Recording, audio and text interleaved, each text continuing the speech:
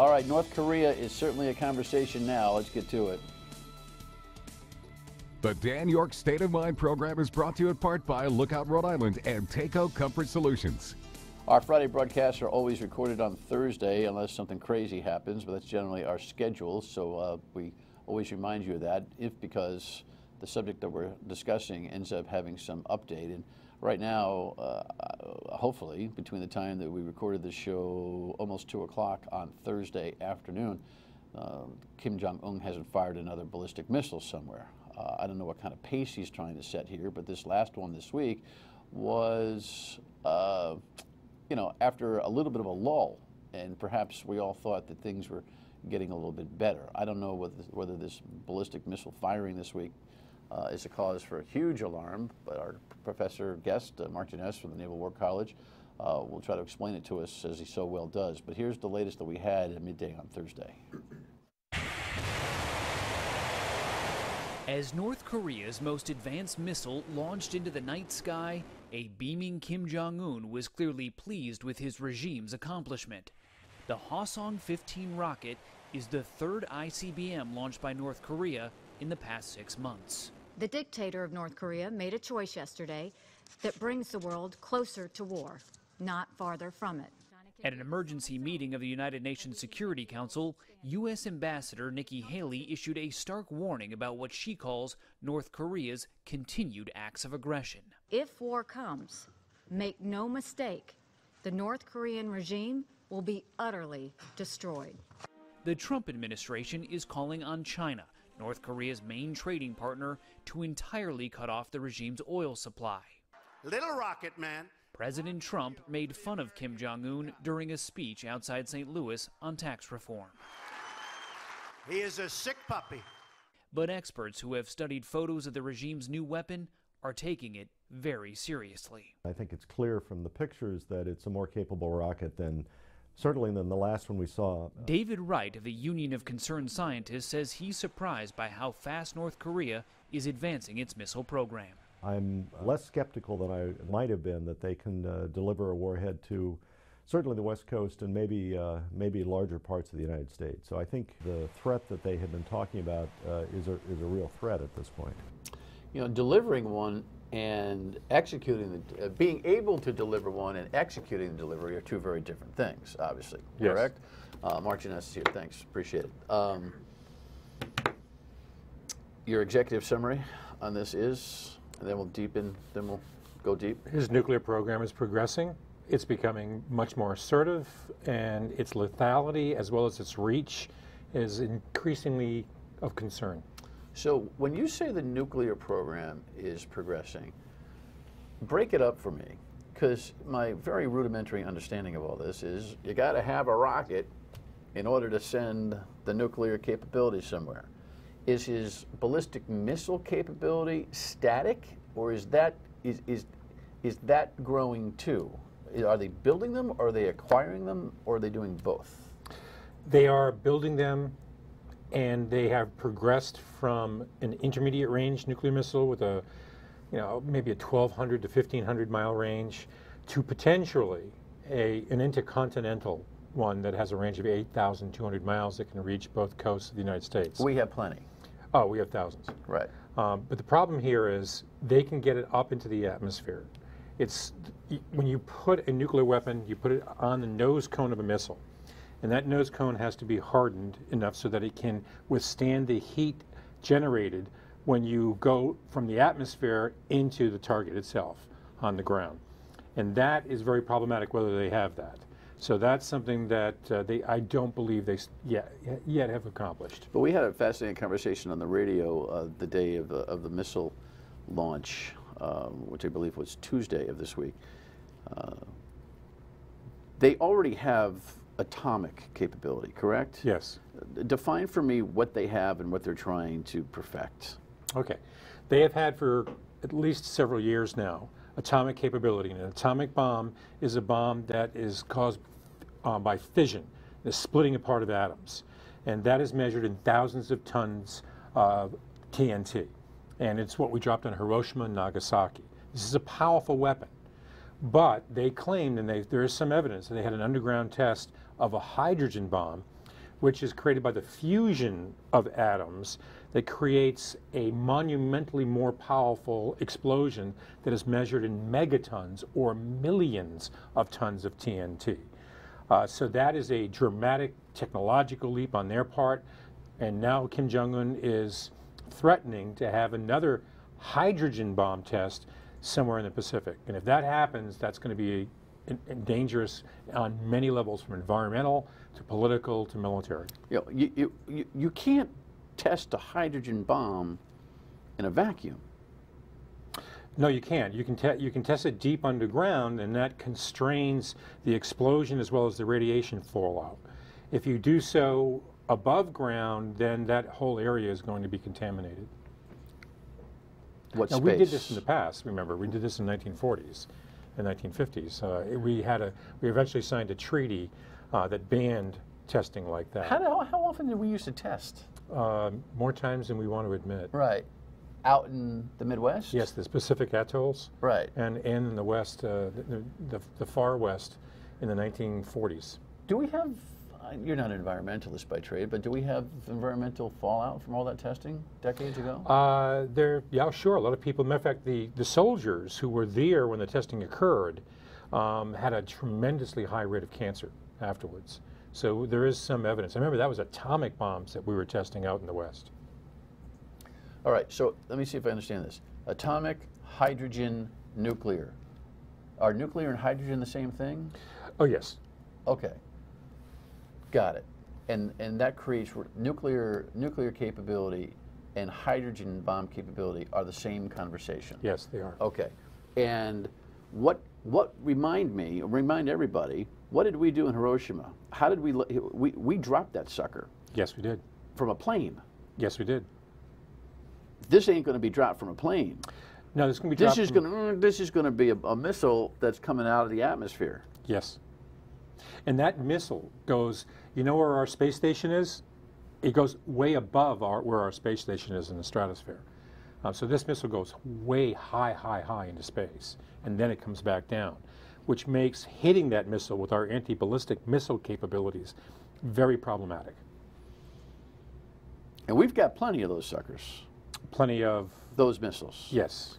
And the nuclear capability to go along with it. Oh, yes. On aircraft, on land, on everywhere. Yes. Russia has that capability. Yes, it does. Pakistan has that capability? It has land based missiles, not anything else. China has that capability. China has mostly land based missiles. Who else?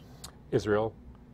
Israel. Yeah, I mean, you have Pakistan, India, Russia, China, the United States, France, and Great Britain. From, from the sea, are we, Russia and us, that's it? Uh, does Russia have as much from the sea as we do? Uh, it's possible China does. I'd have to look that up. Okay. So I'm just trying to get the landscape here. Uh, so I mean, we, we talk. It's kind of funny, right? We talk about the North Korean thing as oh, he's got this.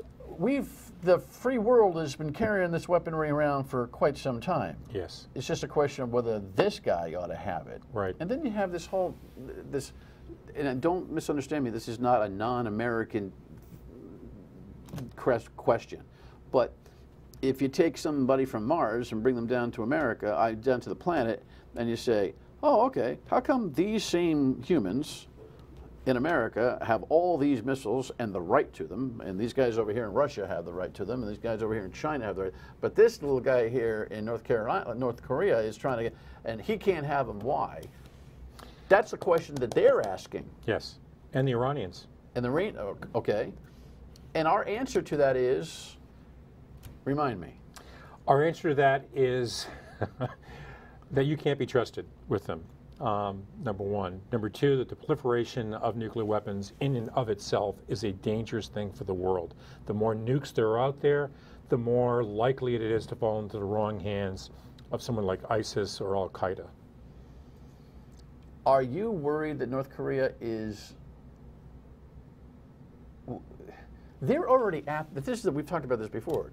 They want to be recognized as part of the, of, of the family of nuclear capable countries. Well, they already are. I mean, but we won't say it. They want us to say it. It's almost like a Sam Kinison bit. Say it, right? They want us to say it, right? And we won't say it. They no, not say it so much as we want to we- they want us to formally accept them as a legitimate nuclear power, which is what we're not going to do. Because Because Kim Jong un is seen as too aggressive uh, and too potentially erratic. But if we if we recognize that status, you think he'd calm down? No, I don't. All right, we'll find out why when we come back. Stay with us.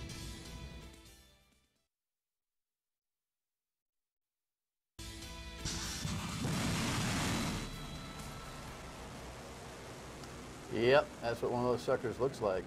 Uh, truth be told, our anti-missile defense system, Professor Genest, is what about 50% track record accurate? A little better, but not. When you're talking about nuclear weapons, it's not. It's like horseshoes. You don't have to actually get the target; it has to be close.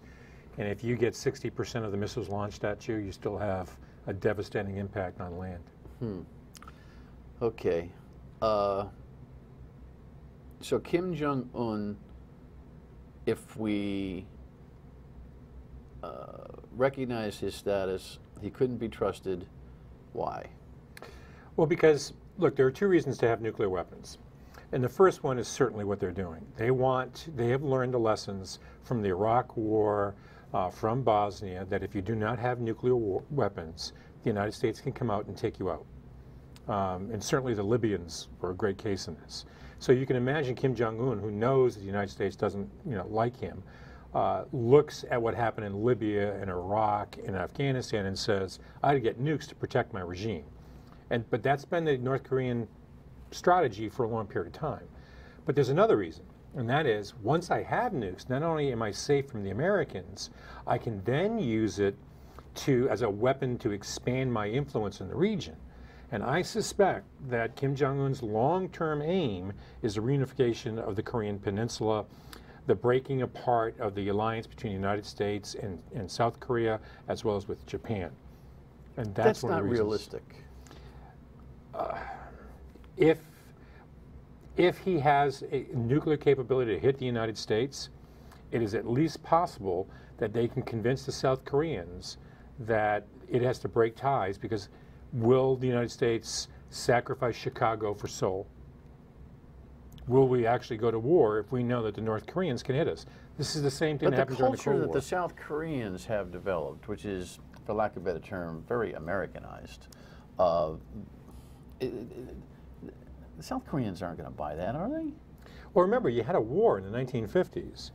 Um, if, if, if I'm the North Koreans and I see that the United States is going to be marginalized, then the ability for me to impose my military will on the South becomes at least more plausible.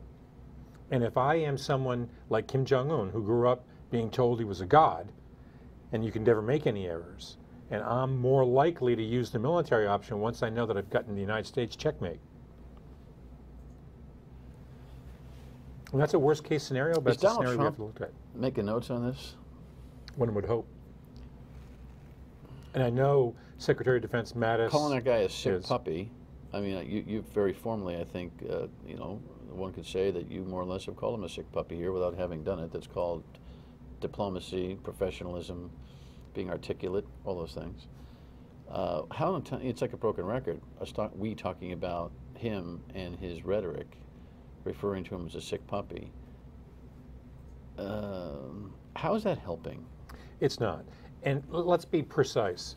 He is not a, a sick puppy. He is not an insane man.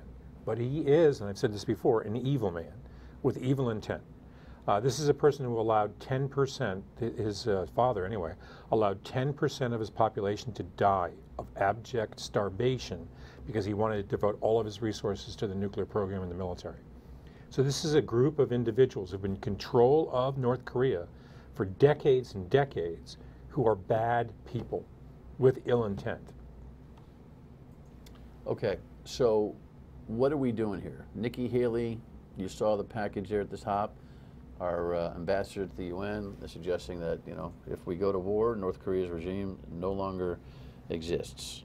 Well, it seems to me that means, you know, we take him out. We're going to take him out through high tech conventional means, though, correct? Well, the language she's using is the classic language of nuclear deterrence, which says if you attack us, we will respond with an overwhelming attack to destroy your country. But I'm not hearing if you attack us. I'm hearing if you keep testing, if you keep testing, we're going to take you out anyway. Is that true? Well, I wouldn't know what's in the mind of uh, the president, uh, but oh, there is God, something. You actually responded to that by suggesting that a single person, meaning Donald Trump, has, holds all the cards in this, is horrifying.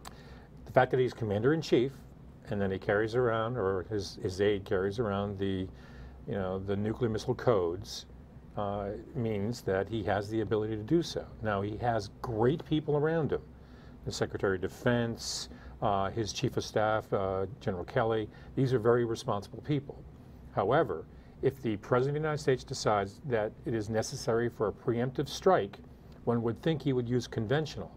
However, the North Koreans have dispersed their nuclear program throughout the country in deep, uh, hardened silos, and they have a missile capability that's mobile now, so that you don't not sure where it's going to be because it could be moving at any time. Uh, so it's problematic to use conventional weapons, even our big bunker buster bombs, or you know the Moab and our bunker buster Daisy bombs, which are meant to go in ground and then explode. Very, very powerful weapons. That still does not guarantee you'll hit every one of the targets. And any conventional effort will give them plenty of time to react to South Korea Yes. and hold Seoul, which is what 30, 40 miles from the demilitarized zone, No, less than that. hostage. Yeah. And not only that, it's not just conventional artillery that he has or missiles. He also has chem and bio weapons. Um, and you wouldn't put it past him to use, you know, chemical and biological weapons. So you're talking about a The potential whole of thing hundreds just of feels like a checkmate. The whole thing feels like, you know, and, and I think most Americans, if they really studied this, would really start to freak out. And I wonder, when we come back, we'll talk about this. I, I- you feel powerless, don't you, in some ways? We've just elected a president who holds all the cards. So what can we do about this next?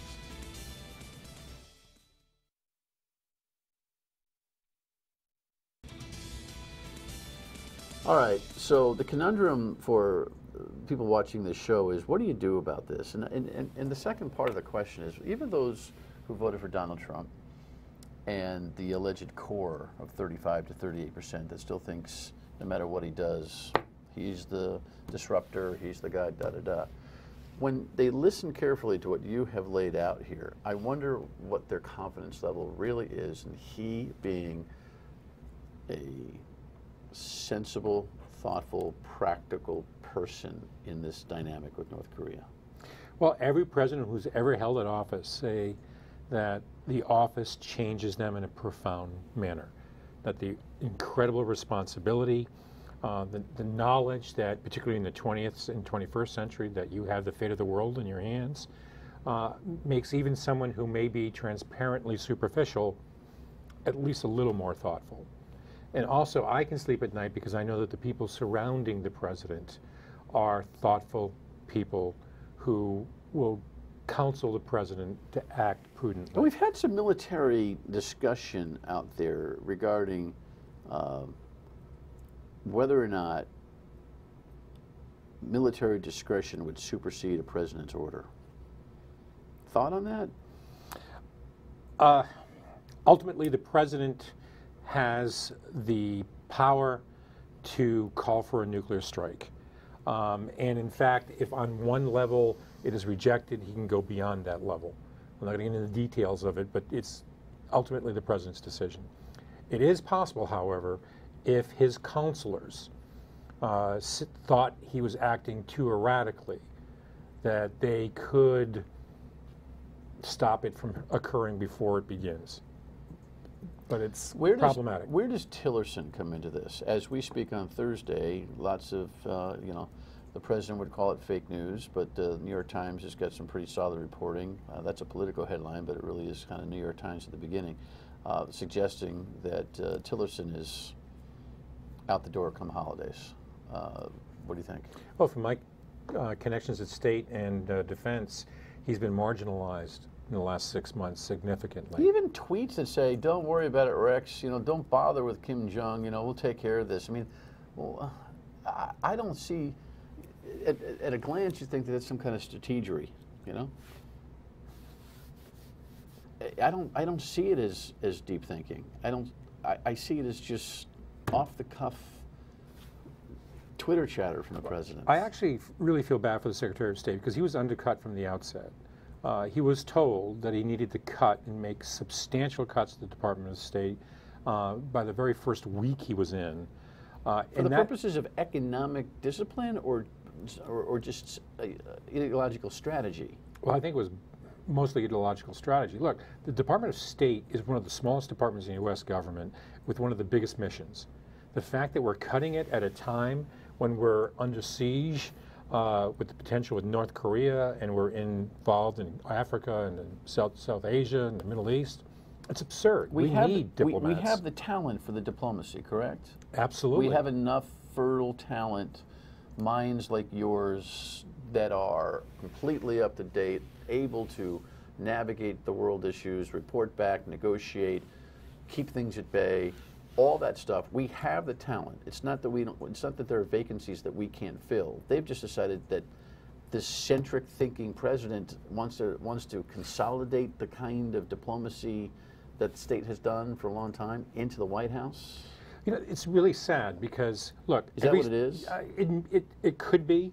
Um, it also could be because we want to get rid of the Obama leftovers so that we have a pure State Department that represents our views, and many administrations tend to do that. But look, a state has within its arsenal not just the military component, but economic, diplomatic, political. If you are going to take and disarm yourself with one of your key parts of your power, then you're weakening the country.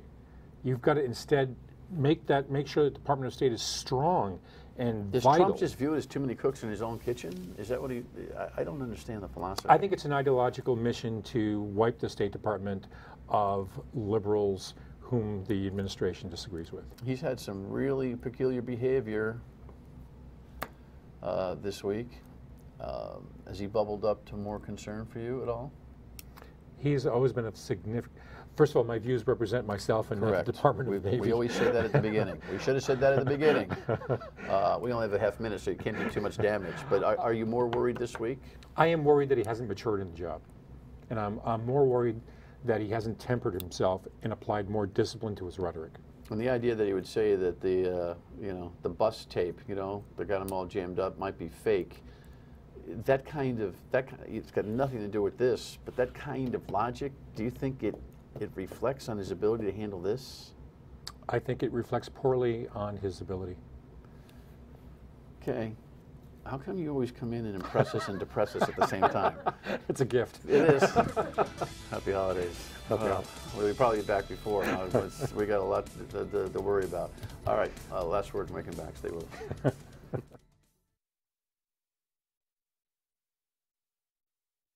Right, uh, we'll have a production day off on the, the Monday show, so we'll revisit our conversation with the uh, chairperson of the Worldwide Special Olympics organization, Tim Shriver. It's a pretty good conversation.